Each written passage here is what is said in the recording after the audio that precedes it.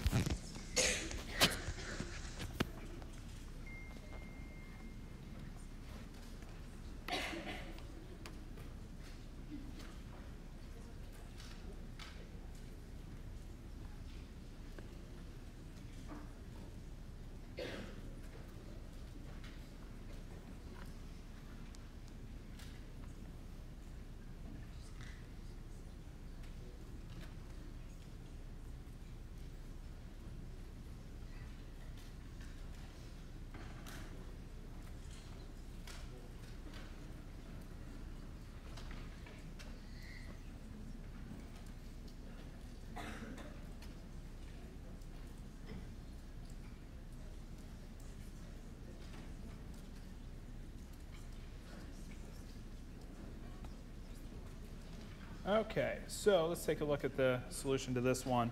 Um, so mixed operation problems, sometimes they're trickier when things end in zero, sometimes they're not, I don't know. This problem, you may find it tricky because it works out numerically just to equal 120, right? So we throw this into our calculator. And the first inkling is not saying, well, 120 is two sig figs, because that's a different sort of problem. If I just said in a different context that, um, that I took a measurement and it's 120 meters, you would say, okay, that's two sig figs. Um, but that's a different context, and you do a calculation with numbers. Uh, we have to use those numbers to work out the sig figs, not what our calculator says. We're trying to see, do we need to add zeros onto this? We need to take zeros away. Um, do we need to round this? How do we need to approach the rounding and the reporting of this, this result? And so the first multiplication, you know, we do the 300 times 40. Um, and that's definitely has four sig figs. So four sig figs times four sig figs. And so that works out to be, um, what, 1,200? But all four of those zeros are significant.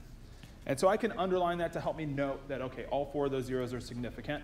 Um, and so then the next step, I need to do 7.50 plus 2.50. These are seconds. The units here are just trying to imply that these are, are inexact quantities, so these are things we should be counting and tracking sig figs in. And so we add these two together. How many sig figs does the sum of 7.50 and 2.50 work out to? Should be four, because it goes to 10.00. Add and subtract, it's all about the placeholders. So we're adding and subtracting. It's like I'm just looking at the, the last digits these values are given to and then reporting the result to that same placeholder. So it ends up being 10.00. So a lot of zeros in this problem, but yes? Uh, probably. I shouldn't do math in my head. I'll believe you. I don't. So 12,000, yeah. Simple arithmetic in front of a class, yeah, that's always the, the worst. I don't even know. I, I believe you. I'm, yeah, because like 300 times 4 would be 1,200. okay, yes, you're right. Okay, so then I have 12,000 divided by 10. So that works out to be, so the answer you're seeing in your calculators is 1,200. Okay, and so 1,200 is in our calculators and we plug in all the math to solve the problem. And the question is, how many of those digits are significant? Is it one? Is it two? Is it three? Is it four? Is it infinite? Infinite's a weird choice, so it's usually never going to be infinite. The only way infinite would be the answer is if these were like exact numbers. So these are, were all taken to be exact quantities. Like if we're adding up conversion factors or something, maybe then we might say something's infinite.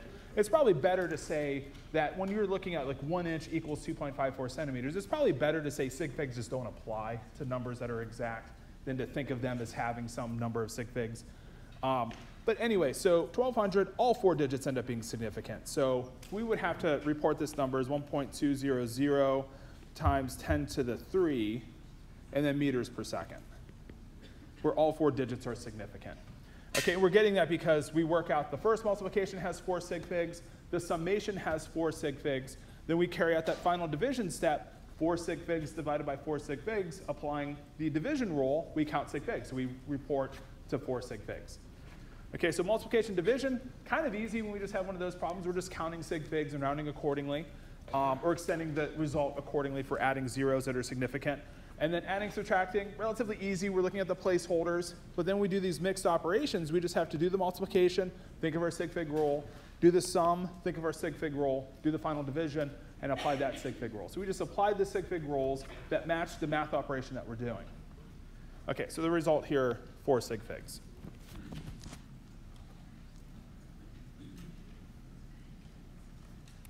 Okay, so from that, um, again, let's keep doing fig problems if we're stuck. Like, seek them out on quizzes. If you, be, if you get to the point where you're like automatic with sig figs and there's a quiz problem on sig figs, you could probably skip it. You know, it's like you can skip problems when you know how to do them, so you can focus on the ones that maybe you find to be more tricky. Okay, so let's do one of these conversions. I mentioned last time how we're responsible for knowing the giga, mega, kilo, centi, milli, micro, nano, pico numbers. And probably the best way is just to make sure you remember the ones you know. Um, you know, so for like kilo, I think we all know what the, the kilo converts to. The mega is the next, then the giga. If you get yourself in the order, then you can remember millis the minus three, micros the minus six, then it's nano, then it's pico for minus nine and minus 12. So work this problem out here. So give this one a try. You can go back to trying the problem and then comparing answers with your neighbors on this one if you want.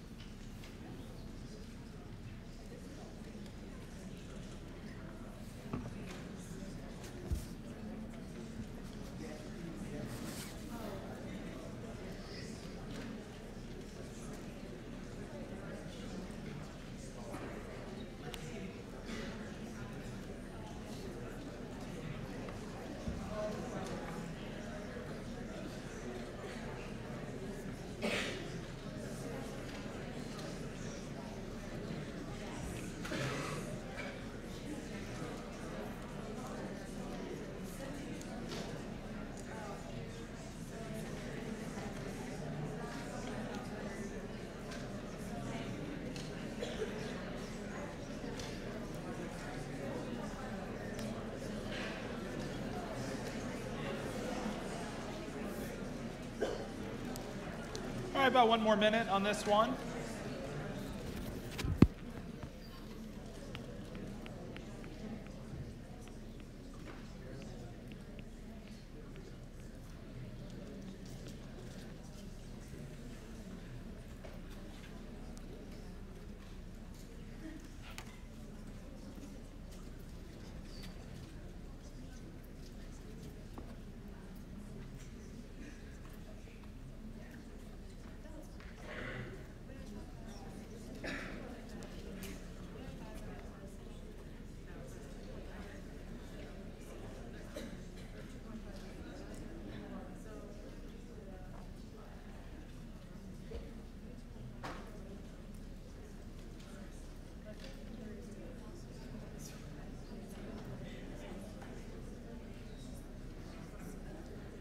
Okay, so this one here, we haven't quite, I mean, it's funny that the very last section in chapter one is titled Dimensional Analysis, and we've used dimensional analysis a fair bit, and it's really not like you've never heard of dimensional analysis.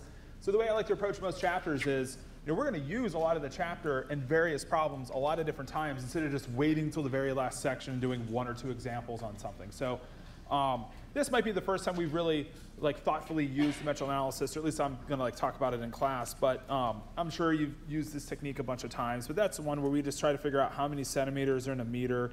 Obviously, one cent, um, one meter contains 100 centimeters. And it's usually just a matter of thinking is 100 centimeters is a meter, or is it 100 meters is one centimeter. So it's really just a matter of making sure we get the right unit on to the, to the 100 in the right place. And so then the same thing with the nano. So as we go to nano, hopefully we remember micro is the minus six, then it's nano, so nano is the minus nine. And so we could approach this two ways. We could say, well, how many nanometers are in a meter? Um, that would be the big number. The nano is really small, so there's to be a lot of the really small things in a big meter. So that'd be 10 to the 9 uh, nanometers. And so we've canceled our meters, canceled our centimeters, ended up with the unit we're looking for. So I like to start dimensional analysis this ends up being a big problem solving technique that we use in a lot of problems that aren't really maybe classic unit conversion problems where we'll solve a lot of problems in chemistry where we start with what it is we're looking for, we start with something that we're given, and then we just kind of work our way through the information provided in the problem to help us solve it. So dimensional analysis becomes kind of a catch-all for a lot of, uh, for a general technique we use to solve a wide variety of problems in a class like this one. Okay, so easy enough problem to do. It's just really more about remembering and knowing that you have to know those uh, prefix conversion factors um, for like the nano, the pico, and the other ones that we mentioned earlier. So this ends up working out, working out to be answer A.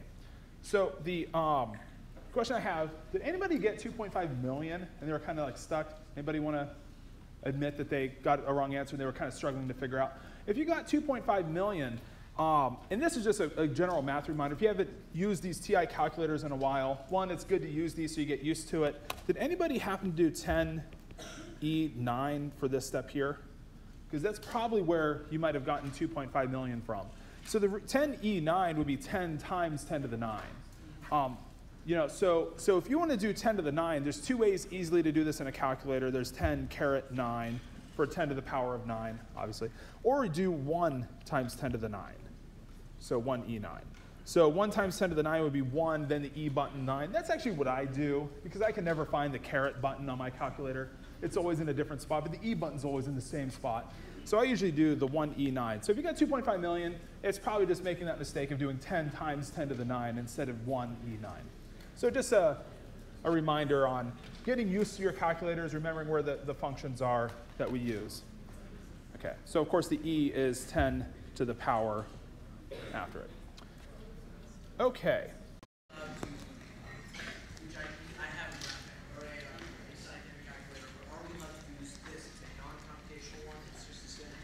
For, uh, for like your homework in, in lab and stuff like that, yeah. But for exams, we will specifically require, it's mentioned in the syllabus, um, uh, we do have to use those TI-30s. So um, yeah, we do have to get a TI-30 for all you guys, either the battery-powered one uh, or the, the sort of solar one. The solar one is actually a little better, like the TI-30 X2S. Um, it's this calculator here. So this is the one I would look for. There's, um, there's a slightly different version of the TI-30 you could use. It's not as friendly. This one has the second answer button, so that's the other TI-30 we allow doesn't have that second answer button. Okay. Get this at Target. It's cheaper at Target than the bookstore. It's like 20, 25 bucks at the bookstore. It's like 10 or 15 bucks at Target.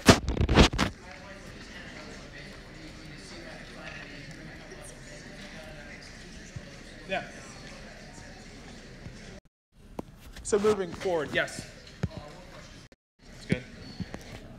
Okay. So another topic in chapter one, just two terms I want to make sure that we're on the same page with. Um, sometimes they're used interchangeably in, in common lingo. Sometimes you see maybe more popular press use these terms as if they're the same, but they actually have a different meaning. Precision and accuracy have two different uh, definitions, if you will.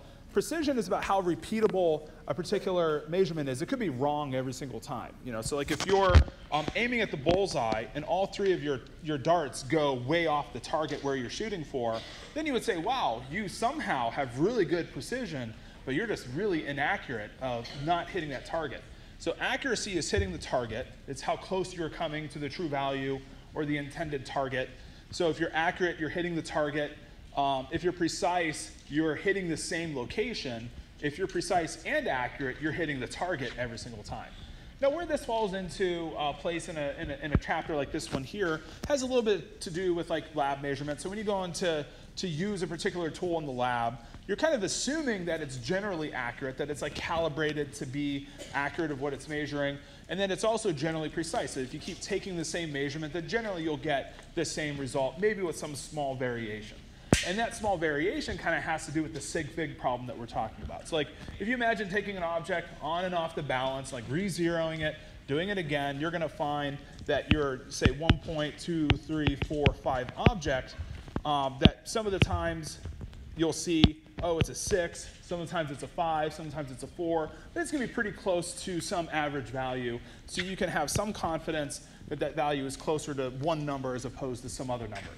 Um, and then you can also have confidence after you see that an instrument works, maybe you test it out, that you can just use it once and just get the value off of it and then report it with uh, an uncertainty of 0.0001 grams. So like your uncertainty is following in that last uncertain placeholder.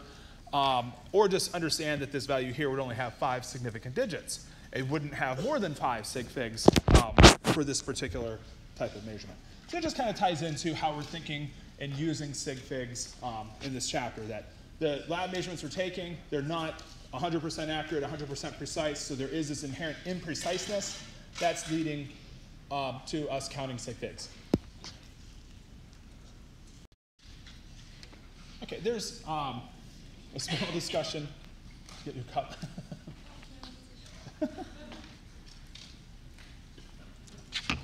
so there's a discussion in the book about some different types of glassware. This one's a little bit more to lab, but I wanted to make sure we discussed the difference between the types of glassware you might use for different sorts of situations. So, you know, in the lab, you might have access to things like graduated cylinders, syringes, burettes, pipettes, and volumetric flasks. They each have their own sort of intended purpose. Um, glassware is usually um, classified as either being a delivery uh, device or a containing device. So some glassware is calibrated to contain the indicated volume. Other glassware is calibrated to deliver the indicated volume. And graduated cylinders are actually sometimes marked either or. So if you look at a graduated cylinder, um, a lot of times it'll either be marked TC or TD. Relatively important to note the difference. If it's TD, it's calibrated to deliver 10 mils. So you can imagine if you fill it up to the 10 milliliter mark, it's probably a little bit higher than 10 milliliters because it's calibrated to know that it's going to leave a couple drops behind when you actually pour it out. Um, so it's going to be more calibrated to deliver 10 mils than it is to contain 10 mils. Um, if you see a graduated cylinder marked TD, it's going to be calibrated to, um, or excuse me, if you see it marked TD, it's calibrated to deliver the volume, TC to contain that volume. A volumetric flask is almost exclusively a containing device. So volumetric flask, you'll find these in like the 25 mil varieties or the 100 mil varieties, usually like in some whole number of uh, milliliters. And they're calibrated that if you fill it, there's a little marking line. If you fill it to that line, that it's say 25.0 milliliters. So you get about three sig figs when you use a volumetric flask. If you buy like a narrower neck volumetric flask, maybe you can get that to two sig figs. So maybe you have a smaller volumetric flask with like a thinner neck, maybe you can get um, two digits of precision. So depending on the glassware you're using, there's usually an indicated tolerance. It might be, in this case, 0.1 milliliters. It might be um, 0.01 milliliters, de depending on the device that you're using. Uh, pipettes are what we use a lot in the labs. They have a little bulb. You have like a 5, a 10, or a 25. Um, they make all different size pipettes. Ones we use most often, I think, are 5 and 10 in the general chemistry labs. And again, these have a mark on them. You fill it very carefully. It's kind of tedious to do. Uh, but you fill it to that mark, and then you know at that moment that that pipette's actually calibrated to deliver then that quantity of liquid. And this is usually pretty precise. So this is usually to two decimal places. So if you use it correctly, so if you fill it with the meniscus to the fill line, um, if it's a 5 mil pipette, then you're going to get 3 sig figs. If you use a 10 mil pipette, usually you're getting still two decimal places of significance. You're getting like four significant figures on the volume. Now, if you need to deliver a precise but a very specific quantity, like a pipette's good if you need to, deliver 10 mils repeatedly, um, but then you might use a burette if sometimes you need to deliver 8.74 milliliters and maybe some other time you need to deliver 12.76. So a burette is used when you need to deliver a specific quantity. Um, they're really useful in titration problems we'll look at in chapter four, where you're going to have, like, say, an acid solution. You're going to be adding a base, and you're going to try to precisely figure out how much of the one solution you need to neutralize the other with. And that'll be really useful for that type of problem. Syringes, we don't use these a whole lot in the chemistry lab, but these are um, useful devices for delivering um, uh, liquids, kind of like a burette. Um, but so if you know you need to deliver 5.5 milliliters, pretty easy to use a syringe. And also graduated cylinders are also useful. So I just wanted to kind of make sure we're on the same page of there's different glassware for different purposes. They're used in slightly different ways. Some glassware is used to contain or deliver liquids. Um, and then each of the devices we use has some inherent like tolerance. You can either understand or be told the tolerance. I think that's what we do in lab. You can also read that tolerance off the device. So if you uh, work in a research lab, you get handed a pipette. Usually you can actually read on the pipette what its tolerance is. It'll usually say plus or minus like 0.02 milliliters or whatever it happens to be for that particular class of glassware. And oddly enough, there are different classes of glassware. There's like class A, B, and C glassware the, obviously the higher the class, the more expensive. You know, so there are different tolerances for different types of glassware that you might find around the lab. Now let's come back to another sig fig discussion because I think it's important for us to always remember like what it means. Sig figs are related to these inexact measured quantities. So if we count 12 eggs, how many sig figs does that quantity have? You might say two, but it's not really two. We're, if we count 12 eggs, we're not going to argue if there's 11 or 13. You know, so if we can see with our eyes that we have a dozen eggs, this is an exact quantity. So we don't count the sig figs on exact quantity. So we would not call this two sig figs. So if you look at this and say two sig figs, I'd say that that's wrong. Definitely not two sig figs. You could say infinite. I would just say it's an exact quantity. It's probably a better way to word it. Um, so if we see 1.050 liters of water, how many sig figs in that quantity? We have four. So that, now, you could say, well, how do you know that that wasn't some exact quantity? There really is no exact quantity of volume, you know? Like there's always going to be some inherent impreciseness whenever we're measuring volume of a substance. So there's always going to be, uh, we're always going to look at the digits, count them up um, for the sig figs and something like that. Mass measurement, how many sig figs here? That's three. That's easy. Now what about the burette? Like if you saw that in the lab, what, what would you call that measurement? We can zoom in here. So some of you might say 20. If you, if you just wrote down 20 mils in your notebook, what's kind of wrong with that? Aren't you probably more precise that it's 20 than say 19 or, or uh, like we're fairly certain this isn't 21, right? Like there's not some oscillation problem here. We can, we can definitely see it's at 20.0. But can we also tell that it's nowhere near 20.1 or 20 or, or 19.9? Like it's nowhere near here or here. So we could probably actually say that this is 20.00. So usually whenever you look at your scale, you can look at your scale and say, okay, it's going every tenth of a milliliter. So the scale is 0.1, excuse me, 0.1 milliliters is the scale reading. You can interpolate between the scale. So you could tell the difference between 20.0. If it were 20.5, it would come down in the middle, and you could tell that difference. So with a burette, you're usually getting, and with almost any device, that you imagine having these scale readings. You're, you can interpolate between the scale. You might have to uh, squint. You might have to get like a card reader if you're reading a burette, get really close and see it. Um, I have to zoom in. My eyes aren't very good anymore. Um, I don't know. Probably getting old, I guess. But my wife keeps telling me I need to get glasses. I'm like, no, I don't want to do it. but I think I need reading glasses or something. But so if, if, if, you're having a hard time seeing it, you know, maybe you just you know need to put on a pair of reading glasses um, or just need to get closer, find something usually uh, to put behind a burette. So the key is, whenever you have a scale reading and value in between it, of course you can interpolate um, and get one extra digit of precision when you're reading off those volumes.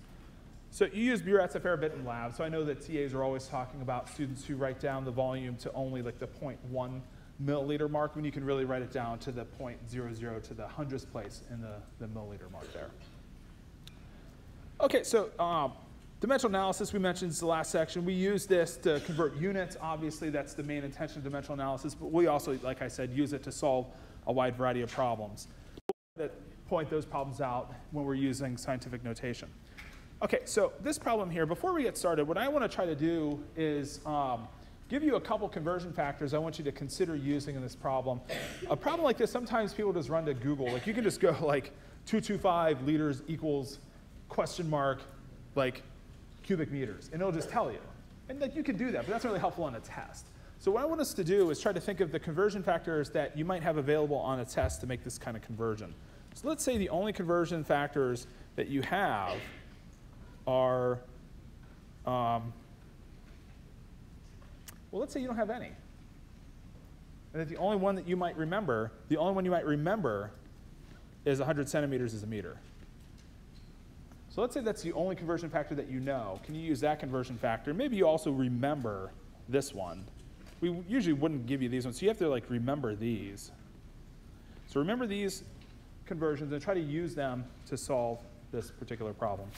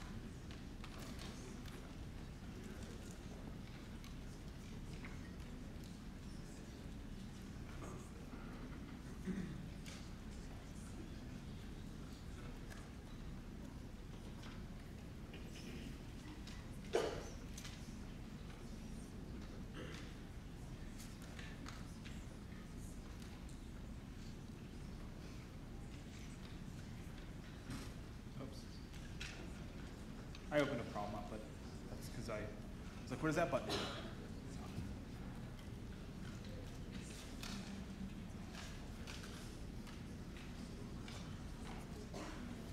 All right, take about one more minute on this one. I did open the previous two questions back up, so you might, if you weren't able to get a response in for the first two, you can try those now.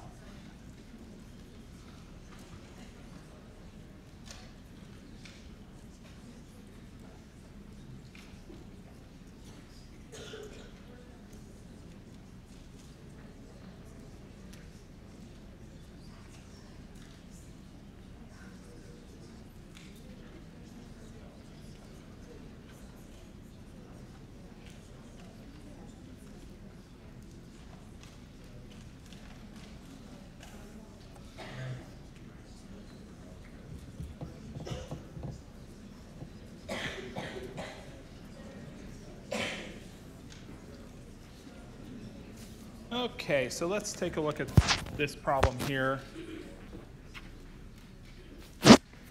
Okay, now I did give the direct conversion that you may have remembered and had a hard time forgetting and just using here, and that's fine. Like if you just remember a cubic meter is point, almost made it. So a cubic meter is a thousand liters. Then maybe you could have used that conversion here. And then maybe you could say, well, can you show a solution a second way? So can you solve a problem a second way using these conversion factors here? It's relatively easy. So what I might do is the same way we did before. So the number of cubic meters is what we're looking for. We're going to start with what we're provided, 225 liters. Um, if I'm going to use this conversion, I need to go over to milliliters. So I do one liter, 1,000 milliliters. A milliliter is a cubic centimeter. Now, of course, you might say, well, if a milliliter is a cubic centimeter, I could have just done that here and then skipped showing a step. So that would be fine. If we want to skip showing a one-to-one step, we could do that as well. And then um, 100 centimeters is a meter, but does that mean 100 cubic centimeters is a cubic meter? No. So if we're thinking of a one meter by one meter box, be much bigger than that. So imagine you have one meter by one meter by one meter in terms of a box that would be 100 centimeters by 100 centimeters by 100 centimeters. If you have one cubic meter, that would be equal to 100 centimeters cubed, which of course would be 100 cubed centimeters cubed. So in other words, what we need to do is take our sort of one-to-one conversion that we know, like 100 centimeters is a meter, and then we can know all I need to do is cube the conversion factor. For one cubic meter, is 100 cubed centimeters cubed. And then with that one simple conversion factor I remember, I can then apply that to this volume problem. Okay, so then I can use the cubic unit here, cubic centimeters cancels, liter cancels, I get cubic meters.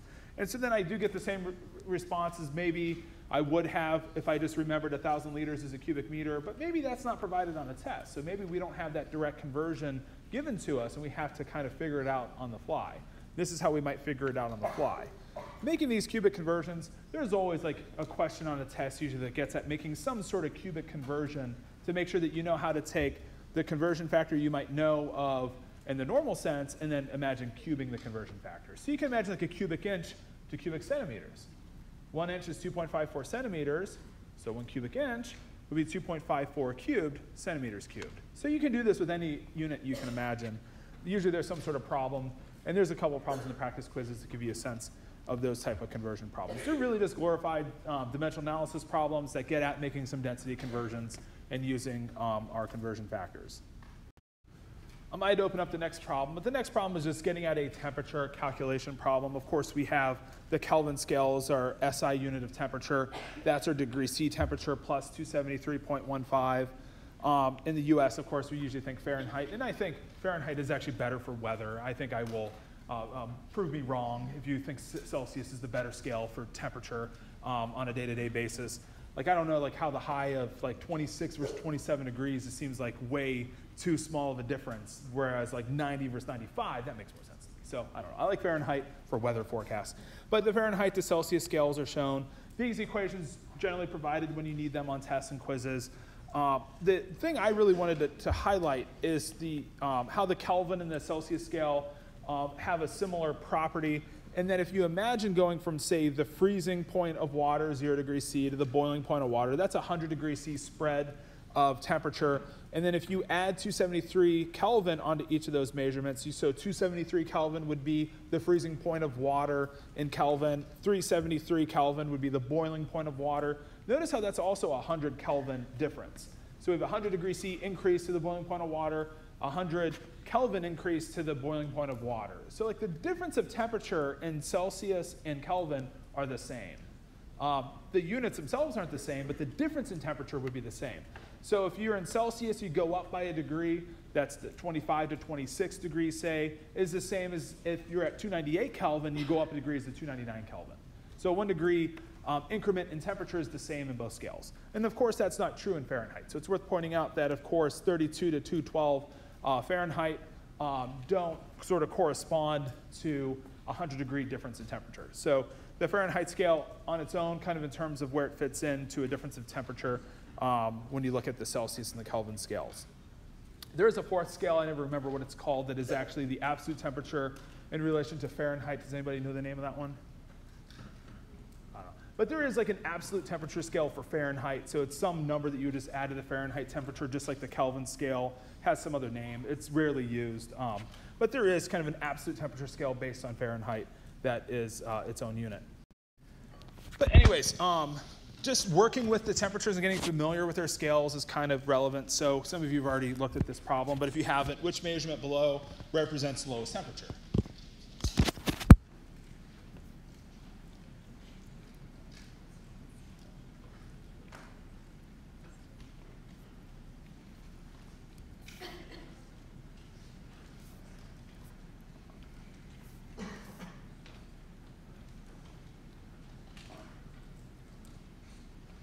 So take about one more minute on this problem.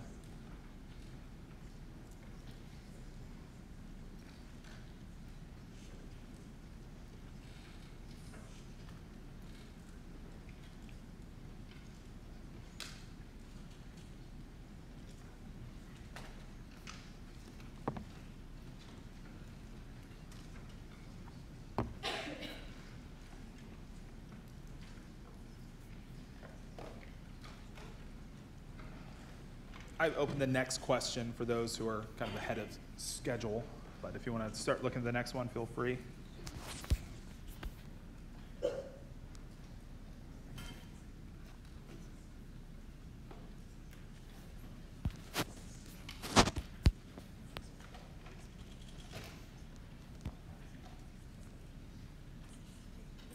So the temperature question, pretty easy. The highest temperature, which one will be the highest?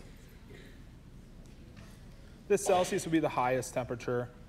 So 25 degrees is about room temperature, 77 degrees Fahrenheit. 25 degrees F is below freezing, so it's probably minus 3 or 4 degrees C. So that'd be in the middle. 25 Kelvin is almost at the lowest temperature you can get to, which is 0 Kelvin.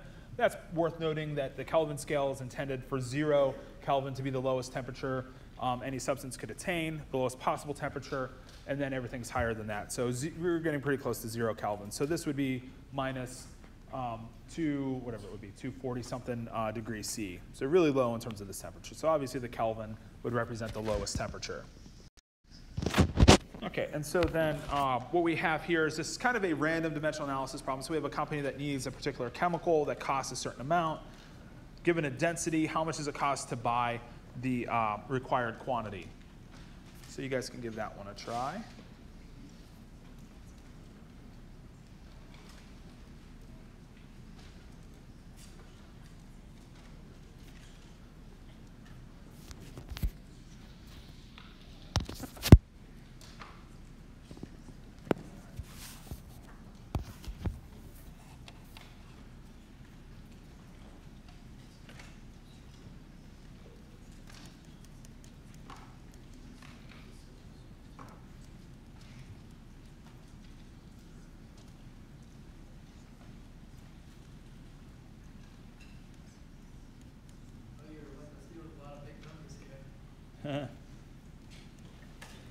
I'll give, give you guys the money for this afterwards.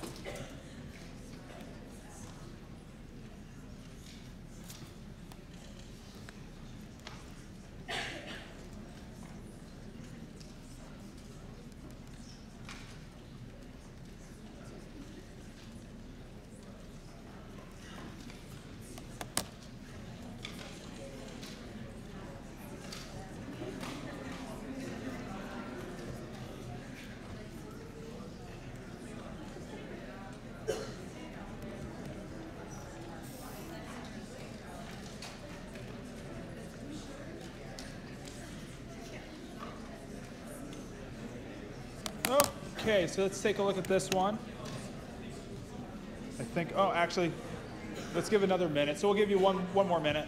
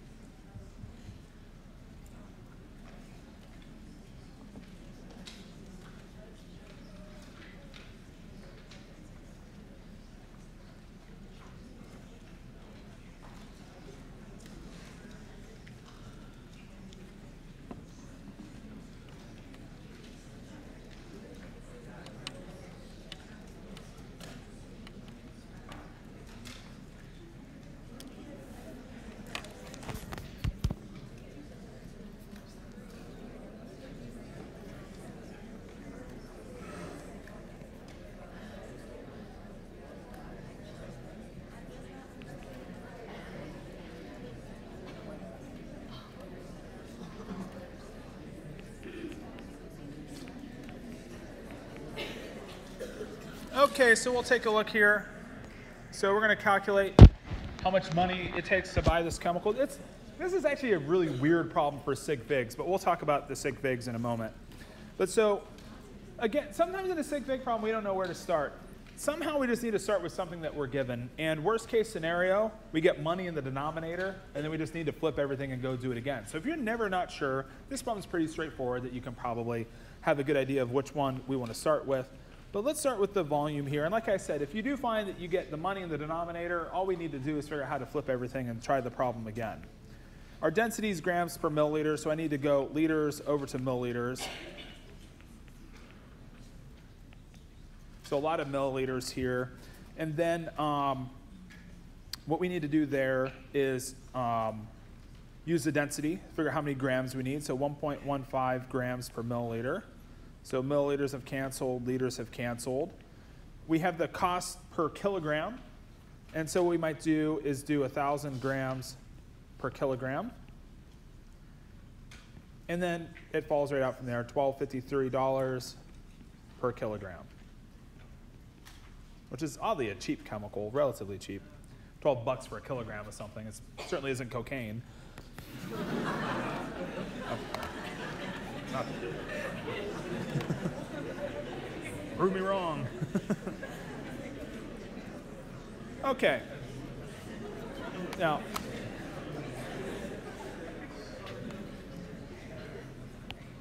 so we could be savvy and cancel the thousand and do the arithmetic. Okay, let's like so simply thinking sig figs here. We're counting like two sig figs, right? So we see two sig figs, so we round to two significant figures, and we would give you know the answer. The answer works out to be about three hundred sixty thousand dollars. Um, sounds like the amount you might spend on cocaine, but not for this quantity. um, so anyways, the, the weird sig fig part about this problem is actually the sig figs are totally broke. It, it, but I don't want us to think too heavy about these things, you know? So like when you start thinking sig figs, um, you know, like when you get to the point where you're paying per kilogram, you would probably calculate specifically how many kilograms you need, and then you got to pay however much that is, right? You know, so like, you know, like if you find that you need um, 100 and uh, if, you, if you find you need 1,200 of something, and it costs like $1.55 each, and you're paying $1.55 times however many you buy. You know, so once money comes in, that's a counted unit. So, but, but at the same time, we're not gonna, you know, we're just really looking at the sig figs here and rounding the usual way of looking at the measured quantity with its sig figs and then capping that off at the end. the more like you might think, okay, once you get the number of kilograms, you're specifically paying for however many kilograms you actually do order. So, um, so sig figs here kind of does break down in a way, but not in a way that um, I would worry too much about it. So we're looking two sig figs times two. I'm going to throw one more quick question at us because this kind of, like if we miss this question, I think we've we need to do a quick gloss over. It's not in the notes, but um, it should pop up on Top Hat. So when you're converting 14.75 inches to centimeters using the ordinary conversion factor in inches, 2.54 centimeters, how many digits should be reported?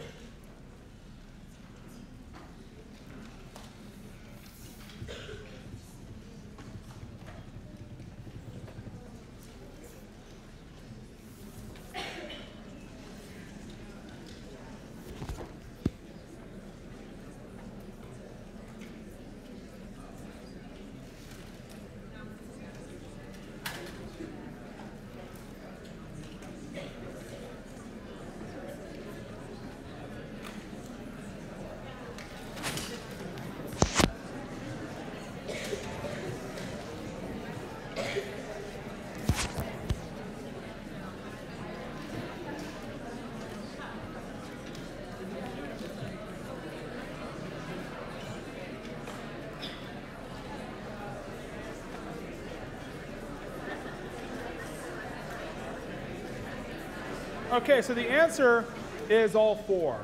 So all four digits are still significant because again, 2.54 centimeters is exactly an inch. That's not limiting the preciseness of our conversion once we make that conversion. The exact number in terms of 2.54. Guys, let me make one last note here about the top hat problems.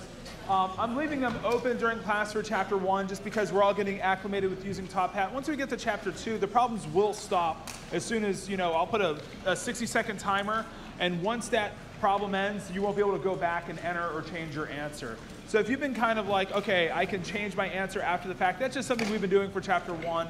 Once we get into chapter two, once I start discussing a problem, you won't be able to go back and change your answer. So just know that's coming on Friday. We'll make mention of this on Friday as well, but not a big detail in terms of points. Um, all right, guys, have a great day. I'll see you on Friday.